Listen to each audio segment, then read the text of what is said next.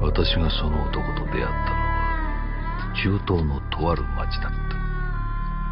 かつては栄えていただろうその町は戦場になっていた。民兵と民間軍事請負企業の兵士の不毛な戦い。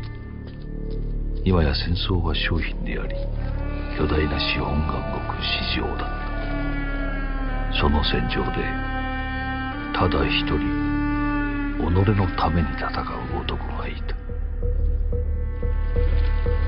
それは一人の年老いた兵士。ソリッド・スネイク。かつて世界を救った英雄。そして世界を破壊した犯罪者と言われる男。老兵士は戦いに疲れ果てていた。それでもなお彼は銃を取る。